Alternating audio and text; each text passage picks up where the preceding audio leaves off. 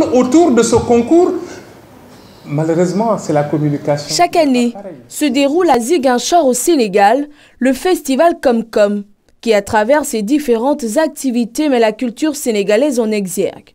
Mais aussi, il a pour but de faire connaître la Casamance. C'est aussi pour cette raison que le festival a été initié en 2008. Cette année, c'est sous le thème Patrimoine, enjeux et perspectives pour le développement durable que s'ouvrira la deuxième édition du festival Comcom de Ziguinchor.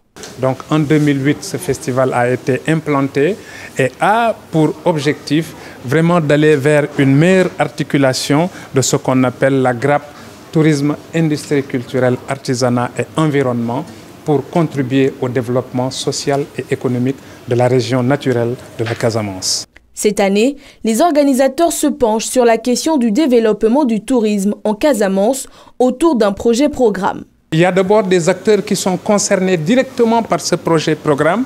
Donc si on les réunit pour discuter ensemble, c'est pour être opérationnel tout de suite.